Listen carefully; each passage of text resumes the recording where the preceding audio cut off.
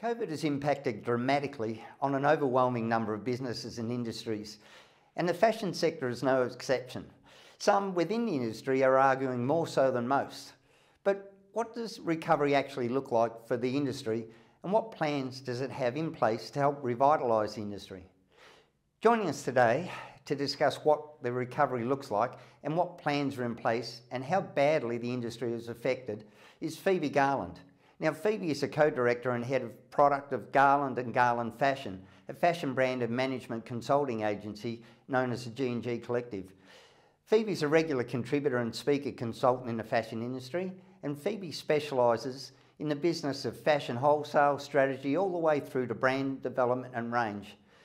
Phoebe is also an industry advisor and board member of the Fashion Design Studio, which is one of Australia's leading fashion colleges and now is a full university degree with some of Australia's leading fashion designers such as Alex Perry, Akira Isogawa, Romance Was Born, Ginger and Smart, Bianca Spender, and many others have graduated. And today, Phoebe's here. Welcome, Phoebe. Hi, thanks for having me. Now, the fashion industry, like most industries, has been hit pretty hard by COVID. What are the plans? How do we get it back to where it was? Look, when the first lockdown happened, um, it was actually a blessing for the industry. Um, retail was really tough before that first 2020 lockdown. Um, and it reset the industry. It was actually probably the, one of the best things that ever happened. Um, this side of COVID, um, from the latest outbreak in December, um, the July lockdowns, hasn't been that great for the industry. It's um, we were really blindsided by Delta when we had that lockdown, um, and no one was preparing to go into one of our longest lockdowns. Um, that was one of our longest lockdowns in Sydney. I know Melbourne, it doesn't even compare to what you guys have had. Um, but basically the impact of that was it gave it was the inability to clear winter stock for retailers in July, which is normally their clearing time, and to allow that sort of clearing old stock and allowing that new season to come in. So obviously new season then had to be pushed out a bit so they could still clear winter. So it pushed the seasons back, which obviously then when December hit, um, and we had the outbreak, even though we weren't in lockdown, there was no government support, um, and essentially people were staying home. So it was like we were in lockdown anyway. It was particularly bad. We got hit quite badly in New South Wales from that. Um, and it really has dented consumer confidence. So it was, it, it, it has been a little bit frustrating um, with them, with for, particularly for retailers, their ability to clear summer stock as well. Um, and, you know, with no government support, and obviously the government support can't last forever, but I feel that this time around it it it's it feels a lot different. You know, it's um it's it's a lot tougher this time around than it was in in 2020. So um, I think also we're coming up to an election year, which always puts a cloud on business. Um, and with this war on as well, it, it isn't helping.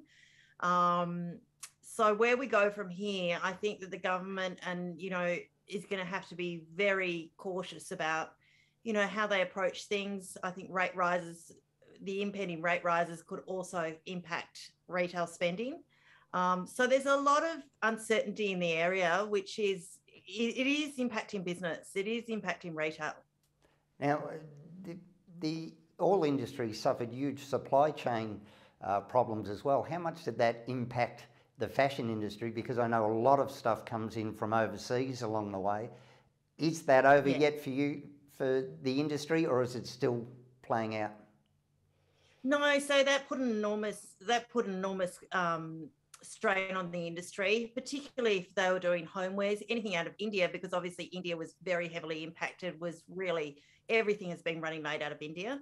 Um, we had a label that had his makers, three of his makers um, died from COVID in India. That caused late deliveries. Um, it, it is still happening. The cost of freight and containers have just gone through the roof.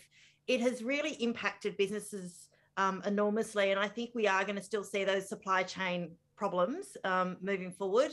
Um, we don't, I think the other thing is, is that we're just heading into winter, so we don't know what winter is going to be like and whether or not there'll be a new strain because traditionally we have seen strains appear during winter months.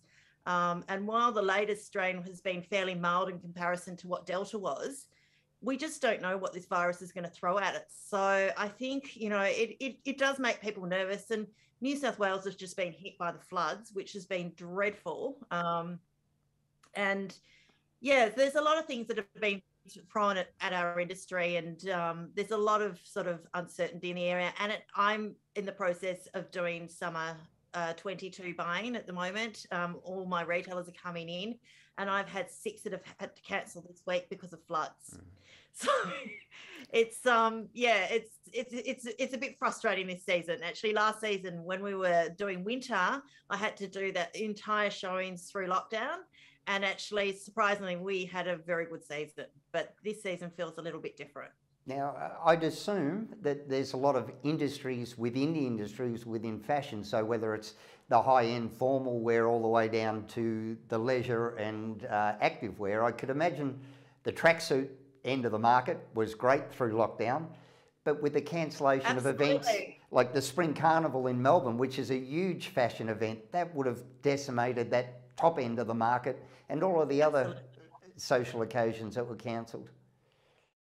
Yeah, well, that's it. I mean, we were incredibly fortunate um, with COVID because we specialize in lifestyle brands and they're fairly casual. Um, having said that, we do have a few fashion brands. Um, surprisingly, the one that we had that delivered late is quite, you know, it is quite fashion forward and it did remarkably well. But that was in, you know, in December where there were events on and, and it was a little bit more, um, you know, people were sick of staying around in their tracksuit pants. Um, knitwear did incredibly for us throughout COVID and still is one of our best performing categories in fashion. Um, knitwear defies gravity um, throughout COVID. It was just, it is a category that works um, really well in COVID and out of COVID. You know, um, I felt really sorry for anyone that was doing event wear. I think that they had to really look at their business and change it around um, very quickly just to make some money. Having said that, I do know this about women and I do know this about the industries. Women get really sick of wearing leisure wear for a particular time. It's not to say that active wear isn't a great category, but we do have our limit on how much time we can spend in our tracksuit pants. And then eventually we do want to get frocked up again and go out. So it's a temporary thing. Um, and I think that the best brands have just evolved during that period. And it was a huge adjustment for a lot of brands, COVID. I mean, we are all blindsided when it first hit. And, you know, we've lived with it for two years, but I think we get better and better with it. You know, I think it will get easier. Um, but it has, you know, with the inability to clear stock, it has become a little bit problematic for retailers. So, my experience with the fashion industry as a, a former, uh, believe it or not, fashion industry person was there was a high rate of female uh, manufacturers and things like that. We know that the, the pandemic disproportionately affected uh, women throughout it because they were some of the, the lower end jobs that were precarious to start with. Will this see, with the supply chain uh, problems, will this see an increase in Australian manufacturing and are there still staff available to fill that need?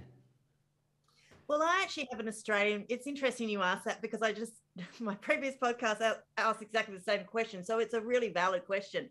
Um, I actually have an Australian-made knitwear brand called Umi Knitwear, which is manufactured in Melbourne, and it is the most beautiful product. And the people behind it are just absolutely delightful. I love working with them, and it's the Australian-made um, demand absolutely went through the roof. Um, the way that they work is is that they got absolutely inundated throughout COVID, and they actually said to me, "Look, we've actually got a bit of a growth problem." And I said, "It's a nice problem to have."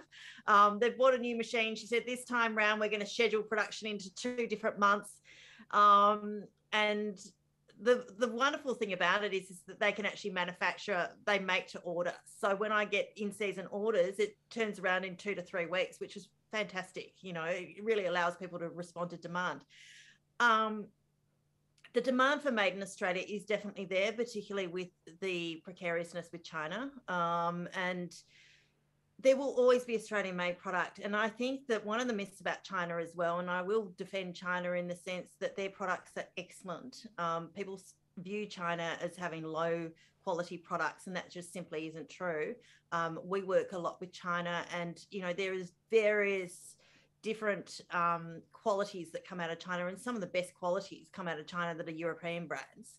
Um, so to write China off as just a country that produces low end is just not true at all. And I think that what we have to really be careful of, um, and it is difficult, it's a it's a diplomatic fine line, um, is that we can't, you know, we are reliant on China. That is it is a, it is an issue, um, and it is an area of concern. Um, the technology in China we cannot easily replicate in Australia. Um, my stepdaughter, who had a, a big apparel business, said they just don't have the technology here to produce garments that they do in China. You know, we've had the majority of offshore manufacturing for so long. While we can make made in Australia, and I do have a, you know, a beautiful friend, Joe Farage, who owns Farage. Um, he has his own factory, and the ones that are making in Australia have their own factory, and they can control that but to really invest in made in Australia. And it, you know, it's great to see also on another hand, the Foresters investing with RM Williams back into Australian manufacturing. I absolutely love that. And I think that it's wonderful they've bought RM Williams because it really should be under Australian um, ownership that really understand that heritage of that brand.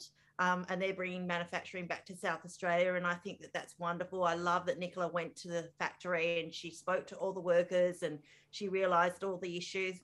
Um, it would be wonderful if we could bring more manufacturing back into Australia. Um, the reality is, though, we do have high wages and we can't compete with those wage costs that China and India have. Um, I think that the only way is if you know, if there was more government funding into that and, and we had that. Um, but it's a question of, you know, it, it is a question of whether or not also the consumer at the end of the day will pay for it. You know, um, in knitwear they will. Um, will they pay for it in a t-shirt? I don't know. You know, um, there's certain things that are obviously more price pointed than others. They obviously pay for it in Joe's suits with Farage and his, you know, tailored wear. It's exquisite quality. It's beautiful product. Um, so in certain categories they will, um, and again it comes back to those categories in fashion whether or not they will. They they may not pay for it in a basic t-shirt. Mm. Uh, one final question before we go, Phoebe, just out of interest. Have we seen a change in the average sizing? Not that I've put on any weight because of the COVID kilos. Have we actually seen an increase in the average waist size for, for men, especially? Just so I don't feel bad about myself. Think we've all had, I think, you know, I think COVID kilos is very much a real thing when you're in lockdown and you can't get out and about and, you know, walking or something. You are limited. So I wouldn't feel bad about that. I'm sure you're not the only one. Um, I'm yet to see the statistics on it. Um, elastic waist pants will be your best friend. And I, by the way, you look amazing. So I wouldn't really worry about that anyway.